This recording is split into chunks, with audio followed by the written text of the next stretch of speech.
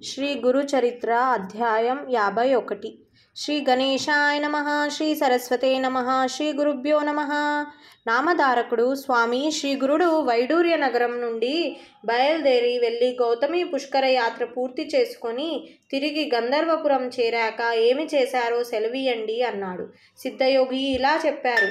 శ్రీ గురుడు కొంతకాలం గంధర్వ నగరంలోనే ఉన్నారు. అది ఈశ్వర నామ సంవత్సరం.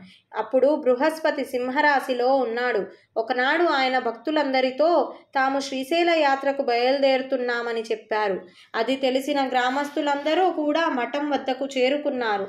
వాళ్ళందరూ కన్నీరు కారుస్తూ శ్రీ గురునితో ఇలా అన్నారు. స్వామి మీరిప్పుడు శ్రీశైల యాత్రకు వెళ్ళవలసిన అవసరం ఏమిటి తాము తమ అవతార కార్యం పరిసమాప్తి చేయదలిచినట్లు మాకు తోస్తున్నది. ఇంతకాలము మీ అనుగ్రహంతో మా కష్టాలు అభిష్టాలు తీర్చుకుంటున్నాము. మీరు ఈ గ్రామంలో విజయం చేయడం వలన ఈ గంధర్వపురం భూలోక వైకుంఠమనదగిన మహాపుణ్యక్షేత్రంగా రూపొందింది. నిజానికి మీరు మా అందరికీ కులదేవతగా నిలిచారు. మేము అగ్నులము దీనులము మాకు మీరు తప్ప వేరు దిక్కులేదు మమ్మల్ని విడిచిపెట్టపోవడం మీకు న్యాయమేనా? ఏ తల్లి అయినా తన బిడ్డలను ఇలా విడిచి వెళ్ళిపోతుందా? ఎప్పుడూ వారి చెంతనే ఉండి వాళ్ళను సాకడం ఆమె ధర్మం కదా? అన్నారు.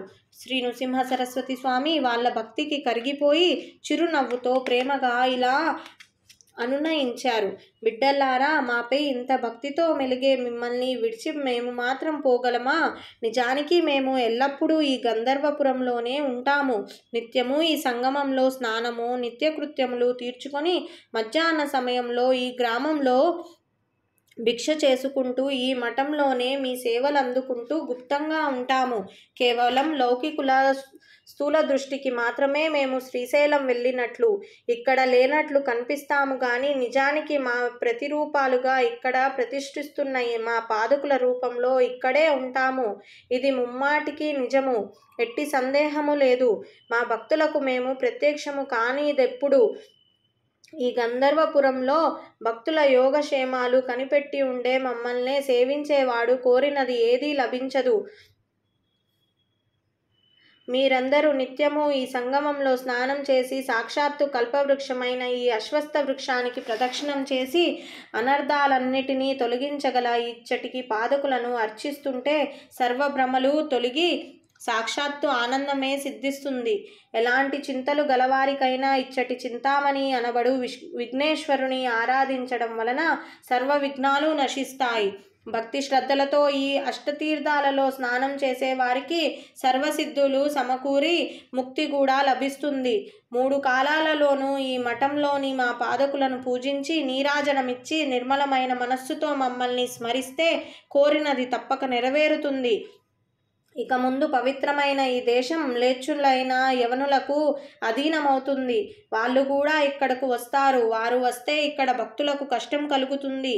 మేము ఇక్కడ లేమని వాళ్ళు అనుకోగలందుకు స్థూల దృష్టికి శ్రీశైలం వెళ్ళిపోయినట్లు కనిపిస్తాము. కానీ అదృశ్యంగా ఇక్కడే భక్తులకు నిత్య ప్రసన్నులమై శాశ్వతంగా ఉంటాము అని చెప్పి ఆయన తమ పాదకులు మఠంలో విడిచిపెట్టారు. వెంటనే ఆయన మఠం నుండి బయటకు వచ్చి సాయం దేవుణ్ణి నంది శర్మను నరహరి కవిని నన్ను కూడా తీసుకొని శ్రీశైలానికి బయలుదేరారు. కొందరు శిష్యులు గంధర్వపురంలో ఉండిపోయారు. శ్రీ గురుని వద్ద సన్యాస దీక్ష తీసుకున్న కృష్ణ సరస్వతి బాల సరస్వతి ఉపేంద్ర సరస్వతి మాధవ సరస్వతి మొదలైన వారు అంతకుముందే శ్రీ గురుణ్ణి ఆజ్ఞ మేరకు తీర్థయాత్రలకు వెళ్ళిపోయారు. స్థానిక భక్తులు మా ఐదుగురిని ఊరి పొలిమేర వరకు వచ్చి సాగనంపి చేతులు జోడించి శ్రీవారి దివ్యరూపం కనుమరుగలయ్యే వరకు చూస్తూ నిలబడి అటు తర్వాత వారి పాదాలను ధ్యానిస్తూ తిరిగి వెళ్ళిపోయారు. అటు తర్వాత జరిగినది చెబుతాను విను. వెనుక శ్రీ గురుడు వైద్యనాథ క్షేత్రం నుండి బయలుదేరినప్పుడు వారి వద్ద సెలవు తీసుకొని తీర్థయాత్రలకు బయలుదేరిన శిష్యులు వైడూర్య నగరానికి పరిపాలించిన యవనరాజు శ్రీ గురుని ఆజ్ఞానుసారం కొంతకాలం ముందే శ్రీశైలం చేరి అక్కడ వారి రాక కోసం ఎదురు చూస్తున్నారు బహుధాన్య నామ సంవత్సరంలో ఉత్తరాయణ పుణ్యకాలం వచ్చింది. కుంభరాశిలోకి సూర్యుడు కన్యా రాశిలోకి బృహస్పతి ప్రవేశించారు. అది శిశిర ఋతువు. మాఘమాసము కృష్ణపక్షము ప్రతిపద పాడ్యమి శుక్రవారం నాడు శ్రీ గురుడు శిష్యులమైన మా నలుగురితో కలిసి శ్రీశైలం వద్దనున్న పాతాళ గంగకు చేరారు. అక్కడ ఆయన స్నానం చేసి ఒక పుష్పాసనం సిద్ధం చేయమని మమ్మల్ని ఆజ్ఞాపించారు. మేమంతా త్వర త్వరగా పూలు సమృద్ధిగా సేకరించి వాటిని అరటి ఆకులపై అమర్చి ఒక పూల నావ సిద్ధం చేశాము. అప్పుడు శ్రీగురుడు దానిని నది నీటిపై ఉంచమని ఆదేశిస్తే మేము అలానే చేశాము. అప్పుడు ఆయన మేము ఈ పూల నావలో ఈ పాతాళ గంగ దాటి శ్రీశైలం చేరి అక్కడ మల్లికార్జునితో ఐక్యం చెందుతాము. మీరందరూ వెనక్కు తిరిగి గంధర్వపురం వెళ్ళిపోండి అని చెప్పారు. కానీ మేము నివ్వరబోయాము. ఆకస్మికమైన వారి ఆజ్ఞకు కృంగిపోయి కన్నీరు కారుస్తూ అలానే ఉండిపోయాము. ఆయన మమ్మల్ని ఓదారుస్తూ ఇలా అన్నారు ప్రియ శిష్యుల్లారా మీరిలా దిగులు పడకూడదు. మీరు గంధర్వపురం వెళ్ళండి. మీకు ఎల్లప్పుడూ అక్కడ మా దర్శనం లభిస్తుంది. భక్తి లేని వారికి కనిపించక భక్తులకు మాత్రమే దర్శనం ఇవ్వదలచి మేమక్కడే గుప్త రూపంలో ఉంటాము. మమ్మల్నే నమ్ముకొని కొలిచే భక్తుల ఇళ్ళల్లో మేము ప్రత్యక్షంగా ఉంటాము.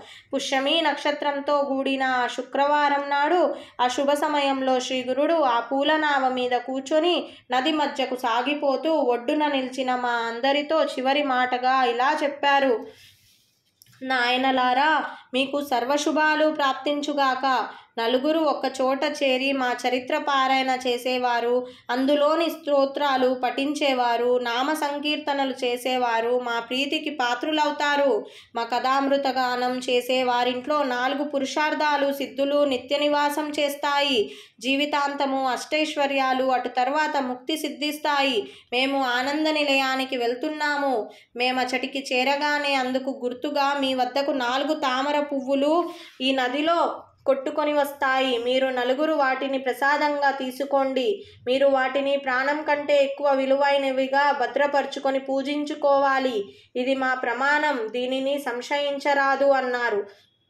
ఆ నావ ముందుకు సాగి కొద్దిసేపట్లో కనుచూపు మేర దాటిపోయింది. అయినా తాము ధరించిన కాషాయ వస్త్రంతో తమ తలను కూడా కప్పుకున్న వారి రూపం దివ్య తేజస్సులతో మా హృదయాలలో అలా నిలిచిపోయింది. ఇలా శ్రీ గురుడు తమ అంతిమ సందేశమిచ్చి ఆ పుష్పనావలో కొంత దూరం వెళ్ళి అకస్మాత్తుగా అంతర్హితులయ్యారు. అంతలోనే ఆ పుష్ప సనం కానీ స్వామి కానీ కనిపించకపోయేసరికి మేమందరము కన్నీరు కారుస్తూ ఆ శూన్య ప్రదేశం కేసి చూస్తూ ఉండిపోయాము.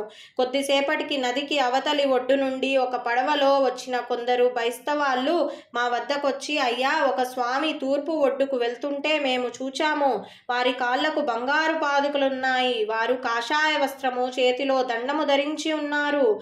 ఆయన మాతో మీరు వెళ్ళి మా శిష్యులతో మేము మీకెదురైనట్లు చెప్పండి. నాలుగు పువ్వులు నదీ జలాలలోపై కొట్టుకొని వారి వద్దకొస్తాయి. అవి తీసి వారికి ఇవ్వండి మా పేరు నరసింహ సరస్వతి. మేము స్థూల రూపంతో కదలీవనం వెడుతున్నాము. కానీ గుప్త రూపంలో ఎప్పటికీ గాన్గాపురంలోనే ఉంటాము. అక్కడే ఎల్లప్పుడూ మా సేవలో నిమగ్నమై ఉండమని చెప్పండి అని చెప్పారట. వాళ్ళు ఆ విషయం మాతో చెబుతుండగానే నాలుగు తామర పువ్వులు నదిలో కొట్టుకు వస్తున్నాయి. శ్రీ గురుని ఆదేశం ప్రకారం ఆ బెస్తవారు వాటిని చూడగానే నదిలో దూకి ఈదుకుంటూ పోయి ఆ నాలుగు పువ్వులను తెచ్చి మాకిచ్చారు. వారి నుండి ఆ పువ్వులను అందుకొని సాయం దేవుడు మా అందరికీ తలా ఒకటి ఇచ్చాడు. అవి తీసుకొని మేము శ్రీ గురుని స్మరించుకుంటూ గంధర్వ నగరంలోని మఠం చేరుకున్నాము.